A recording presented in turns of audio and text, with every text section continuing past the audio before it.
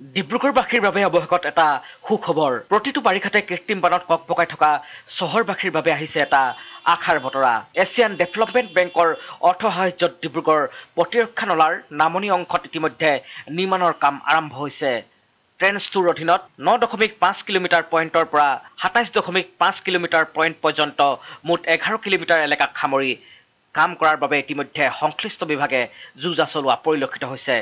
উল্লেখ্য যে দুশ বাৰ কোটি টকা ব্যয় সাপেক্ষে নিৰ্মাণ হ'বলগীয়া এই প্ৰকল্পৰ অধীনত বিভিন্ন ঠাইত বিছটাকৈ নলাৰ লগতে সাতাইছ দশমিক পাঁচ কিলোমিটাৰ পইণ্টত এখন ছুইচ গেট নিৰ্মাণ কৰা হ'ব। ইয়াৰে পাঁচ কিলোমিটাৰ অংশত উন্নয়ন কৰা হ'ব বিলৰ। এই সমগ্ৰ প্ৰকল্প ৰূপায়ণৰ ম্যাদ ধাৰ্য কৰা হৈছে প্ৰায় দুবছৰ।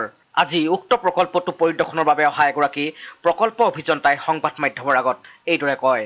এতিয়া ধৰক এতিয়া আগতে আমাৰ এ ডি বিৰ যিটো লোন চেংচন আছিলে এতিয়া আমাৰ দুটা ভাগত আছিলে এটা ট্ৰেন্স ওৱান আৰু ট্ৰেন্স টু এতিয়া ট্ৰেন্স ওৱানটোতো বৰ্তমান বন্ধ হৈ আছে তাৰ ৰিবিডিং চলি আছে জিৰ'ৰ পৰা up to nine point five কিলোমিটাৰলৈকে এতিয়া নাইন পইণ্ট ফাইভৰ পৰা up to twenty seven point five kilometres মানে টুৱেণ্টি পইণ্ট ফাইভলৈকে হ'ব আৰু বাকী টুৱেণ্টি ছেভেন পইণ্ট ফাইভত মানে হেৰি হ'ব ছুইচ গেট এটা হ'ব। ঠিক আছে? এইকাৰণে আমাৰ নাইন পইণ্ট ফাইভৰ পৰা আপ টু টুৱেণ্টি পইণ্ট ফাইভলৈকে এতিয়া ট্ৰেন্স টু আণ্ডাৰত এতিয়া কাম চলি আছে। টোটেল এইটো এঘাৰ কিলোমিটাৰ হ'ব। টোটেল নাইন পইণ্ট ফাইভৰ পৰা আপ টু টুৱেণ্টি পইণ্ট ফাইভলৈকে তাৰ লগতে এই ট্ৰেন্স টুৰ আণ্ডাৰত ডিব্ৰুগড়ত আৰু বিছটামান ড্ৰেইন আছে। ঠিক আছে?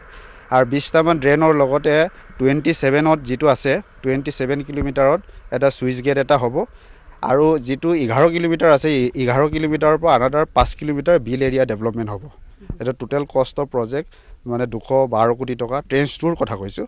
এইটো ইনক্লুডিং মানে ছুইচ গেট তাৰপাছত বিল এৰিয়া ডেভেলপমেণ্ট ফেঞ্চিং আছে ড্ৰেইনৰ আছে ছেকেণ্ডেৰী ড্ৰেইনত আছে এইখিনি কথা।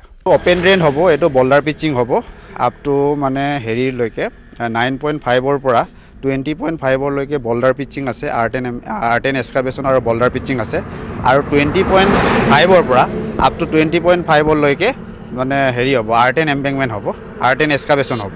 মানে এইটো মানে কোনো বল্ডাৰ পিচিং নাই। যদি ইন ফিউচাৰ যদি ফাণ্ড যদি বেছি এভেইলেবিলিটি হয় তেতিয়া আমি এই পিছৰ কাৰণে আমি ভাবি চাম। আনহাতে দীৰ্ঘদিনৰ আন্দোলনৰ ফলশ্ৰুতিত ডিব্ৰুগড় চহৰ প্ৰতিৰক্ষা নলা নিৰ্মাণৰ কাম আৰম্ভ হোৱাত স্থানীয় ৰাইজে সন্তুষ্টি প্ৰকাশ কৰিছে।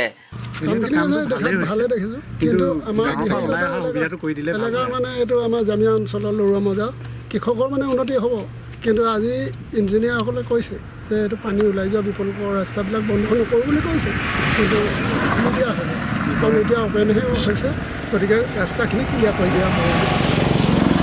অৱশ্যে নলাটো নিৰ্মাণৰ ফলত যাতে বিস্তৃত অঞ্চলজুৰি কৃষক ৰাইজৰ খেতিপথাৰ নষ্ট নহয় তাৰ প্ৰতি দৃষ্টি নিক্ষেপ কৰিবলৈও অনুৰোধ জনাইছে। নলা নিৰ্মাণৰ ফলত পথাৰৰ অতিৰিক্ত পানীভাগ ওলাই যোৱাৰো ব্যৱস্থা গ্ৰহণ কৰা হয় তাৰ প্ৰতি লক্ষ্য ৰাখিবলৈ ৰাইজে আহ্বান জনাইছে।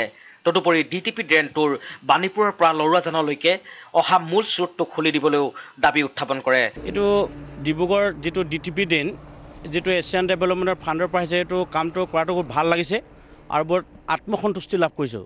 আজি আমি বহুত দিনৰ পৰা আজি নিৰান্নব্বৈ চনৰ পৰা জ্ঞানব্বৈ দিন ধৰি ডিব্ৰুগড় নগৰ প্ৰতিৰক্ষা লৰাজামীয়া ড্ৰেইনৰ উন্নয়নৰ কাৰণে সদায় সংগ্ৰাম কৰি আহিছোঁ আৰু ডিব্ৰুগড় জিলা উপায়ুক্ত মহোদয়ে প্ৰশাসনৰ ব্যৱস্থাৰ লগত সদায় যোগাযোগ কৰি আহিছোঁ।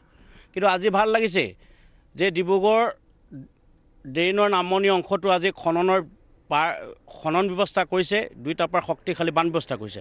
কিন্তু এটা পৰিতাপৰ কথা দুখৰ কথা যে ড্ৰেইনটোৰ আমাৰ পথাৰৰ পৰা আহিবলৈ বৰ্তমান মানে হেৰি কোনো মানে ড্ৰেইনৰ ব্যৱস্থা বা কালভাৰ পুলটোৰ ব্যৱস্থা বা চুইচ গেটৰ ব্যৱস্থা কৰা নাই।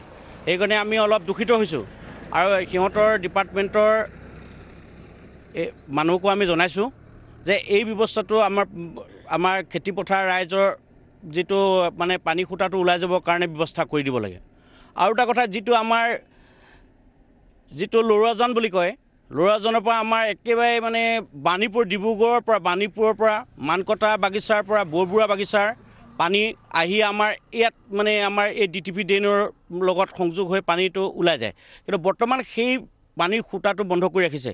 সেই পানীৰ খুঁটাটো যদি বন্ধ কৰি ৰাখে তেনে আমাৰ অহা এই বছৰে ঘৰ দুবাৰ লগতে খেতিপথাৰ ৰাইজৰ খেতিয়ক ৰাইজৰ অনিষ্ট হ'ব।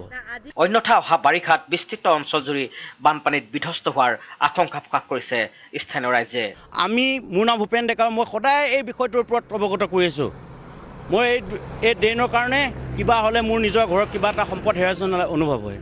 কেলৈ এই ড্ৰেইনটোৱে দুখীয়া মানুহৰ বুকুৰ কলিজত খান্দিয়া নলা এইটো নাম।